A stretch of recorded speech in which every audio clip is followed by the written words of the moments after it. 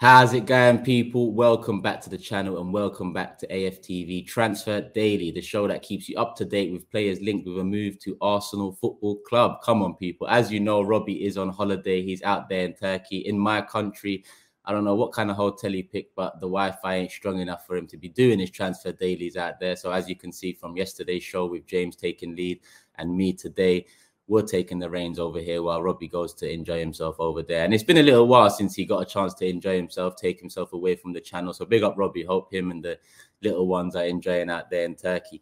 A lot to enjoy out there as well. Make sure you get a lot of that good food, drink, and just enjoy enjoy the country for what it is. Um, but yeah, transfer daily. We've got some players to talk about, and this ain't one of those transfer dailies where we're plucking names out of the bottom of a barrel and we're looking at sources that don't quite have that clout. David Ornstein yesterday tweeted about um, Pedro Neto over at Wolves, and he insinuated that we're very interested. We've been interested for a little while. Don't forget, about three, four weeks ago, Romano did um, let off that there is a mystery winger that Arsenal are interested in. He wanted to clarify who that winger was before maybe coming out with a name and, and attaching his name to the rumor. But it's David Ornstein that's come out, and that mystery winger is Pedro Neto, as James alluded to yesterday. Pedro Neto, listen, outside looking in, um, I think Pedro Neto is is a good young player. I believe he's about 22 now. Bad, bad injury recently. Question marks about how he returned from that injury, and and I've seen bits and bobs of him since his return, and he still looks a quality player before his injury, I saw a lot of him, and, and I remember those times I wanted Arsenal to keep a close eye on him. Let me bring up David Ornstein's tweet. He actually said Arsenal's transfer priority is Pedro Neto.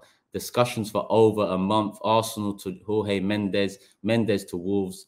Wolves don't plan to sell the 22 year old, um, and Arsenal can't spend excessively, so the deal is not easy. But the interest is concrete and unanimous, apparently. So a bit on Pedro Neto. Again, off the top of my head, left-footed, left winger most of the time. I know he can play across all of the front three, but I think he was deployed more often than not on the left for Wolves. Um, we were linked to Raphinha earlier on in the window, where he predominantly played off the right, which is interesting. Obviously, it's a fluid system, and modern day football needs your players positionally to be fluid across the 90 minutes. So that plays a part in in who we go for. And with Pedro Neto able to play across the front three, I guess that adds to the arsenal, no pun intended, that um, Arteta will have or would have at his disposal if he was to come in. Um, personally, I like Pedro Neto. I think I think he he's due a move. I think he's due a new test. Um, whether that new test is at Arsenal, we will wait and find out in the next week and a half or so. Not long left of the transfer window um, before it all closes, and all we can do is wait for January. I'm hoping we're not here waiting for January on any position because I want Arsenal to do their business first and foremost when it's when it's time to get done in the summer, um, which we have done. The majority of our business, good business at that we have done. Pedro Neto will be a, a nice little addition to that. Um, good business we've done earlier on in the window. It's been suggested that Wolves want about 50 million. Ornstein insinuated that Wolves ain't interested in selling, but if they was to receive a bid of around 50 million, then that would potentially force their hand. I think looking at the rumours, Arsenal are in and around the 35, 40 million ballpark. So not too far off, but we've seen deals fall over for less. So hopefully Arsenal can um, negotiate a deal there for Neto because again, one more player into that attack would be beautiful. Albeit, me personally, I feel like we need another body in midfield, another another forward for the attacking line wouldn't go amiss either. Why not? Why not? We'll take him, people. Obviously, we were linked to Jeremy Pino a few days ago, maybe up to a week ago now.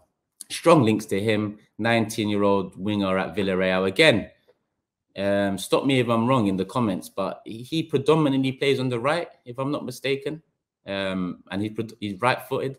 Again, this is off the top of my head from what I've seen, but again, another interesting young winger. I think maybe too young for what we have at the moment, considering you know it wasn't that long ago that we had the youngest squad in the league. Obviously, with the additions of Jesus Zinchenko, that brings that average age up. But Jeremy Pino is an interesting option. If you're asking me now, Pino or Neto, I'm taking Neto all day long. Reason being because he's acclimatized to the league. He's been here a little while. Yes, the injury is a concern, but I feel like that's that's past him now, and hopefully, hopefully, um, he, he you know has a full set of fitness moving forward, especially if he comes to join Arsenal. That's for sure. Um, but yeah, Jeremy Pino is still there. There's still some interest. It's obvious that Arsenal seem to be focusing on an attacking forward across the um, front three positions going into the last seven, eight days of the transfer window. Again, let me know your thoughts in the comment section. Should we be prioritizing a forward slash winger, or do you guys think, like me, we should be prioritizing that midfield position? Listen, we really need both, and we'll take both if given the opportunity.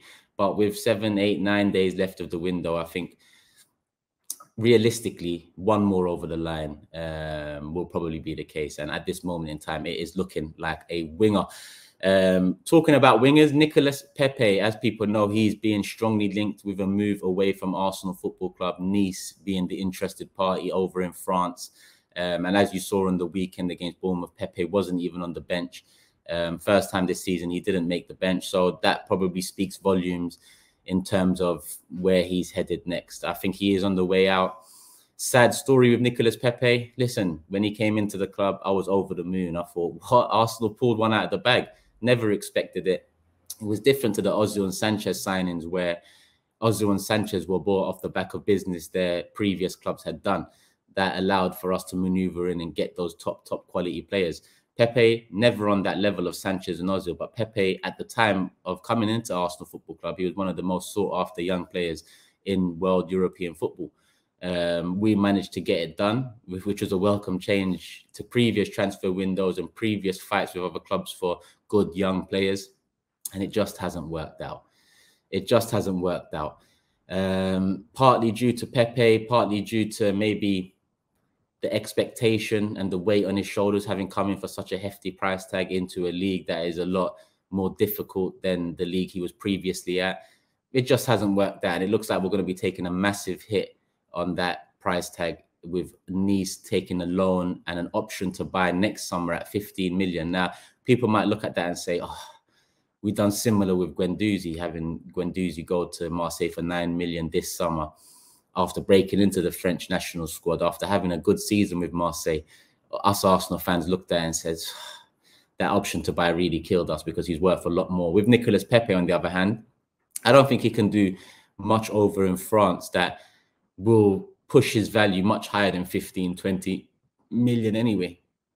With a year left on his contract next year, and overall his time at Arsenal Football Club failing to live up to expectation, I think uh, a loan move with an obligation to buy at 15 mil would be a lot better for us. Um, but an option and hope that it goes well and they pick up that option come next summer um, would work for all parties. I'll take 15 mil. I'll take 15 mil now, even with two years left. It, it just hasn't worked out. It's not going to work out. Arteta doesn't fancy him. Might as well keep it moving, people. Um, again, let me know your thoughts on Nicolas Pepe in the comment section below. Unfortunate, but you know, it is what it is now. He, I've had enough, and I've tried to back him over the years. Um, apparently, as well as Nice, Leicester seem to be interested too. Obviously, Leicester have had one of the quietest transfer windows we've seen any club have um, in recent times. A lot of their fans asking questions over there. Not a great start to the season. Tielemans being linked with a move to Arsenal. Fofana being linked with a move to Chelsea. One not making the squad on the weekend, the other on the bench. So there's problems over at Leicester this Nicolas Pepe interest, not sure where it comes from, but um, very loose rumors linking Leicester to him. And whilst we're interested in Tielemans, if there is any interest in Pepe, we might as well see what we can negotiate. Considering the Tielemans links have been going all summer, I think why not throw Nicolas Pepe into the mix if they are interested and see what we can work out. In all honesty, I think it will be Nice for Pepe, and I think with Tielemans we will try again, or we will try if we haven't tried already when you look at him being put on the bench over the weekend, I feel um, reason being not in the right frame of mind. Obviously, Arsenal being the main only club really linked to Youri. Um, I think there's a deal to be done there. A year left on his contract. Arsenal playing the waiting game. You know, with about coming up to a week left of the transfer window and no other interested parties in Tielemans, maybe we we done the right thing. Maybe we will get the player we wanted all along for the best price we could possibly get him for. Again, we'll see in the next eight, nine days. Um, but could there be a swap deal on the cards?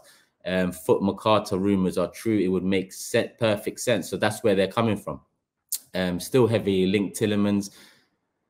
Pepe still heavily linked with a move away. Let's see what gets done there. Like, like I said, there's only a few days left of this transfer window, and business needs to be done, both incoming and outgoing for Arsenal Football Club. Last but not least, people, Brooke Norton Cuffy, the young right back we have um, a huge prospect, a lot of good things being said about him. I've seen him a couple of times. He listen, he's a unit. He looks like he'll be a good addition to the squad in, in a year or so. But this year he's going out on loan to Rotherham, a season-long loan deal. He recently signed a new contract at Arsenal Football Club, securing his future here, um, which is great news considering the hype around him. Hopefully he goes over to Rotherham, has a good season, comes back into the side next season where there probably will be a mini shake-up in the right back department. I'm not sure how long Cedric has left at the club, um, but recently we've got rid of, well, I say got rid of Bellerin. Is that even done yet? I don't even know if that's done yet. So that's what I mean by there's still, you know, business to be done, incoming and outgoing. So um, Brooke Norton Cuffy, I think he'll find a place for himself in this squad in the next couple of years for sure. But good luck to him out in Rotherham. Hopefully he does well, like I said. And people, Hope you guys have enjoyed this transfer daily. Hit the like button if you haven't already. Let's get the likes up over a thousand real quickly, people. You know how I like it. And yeah, tune in tomorrow for another transfer daily. We'll see who takes the reins then. As always, people, love for the love. And yeah, tune into all the content that's coming out over the next few days, weeks, and months ahead. Peace. We're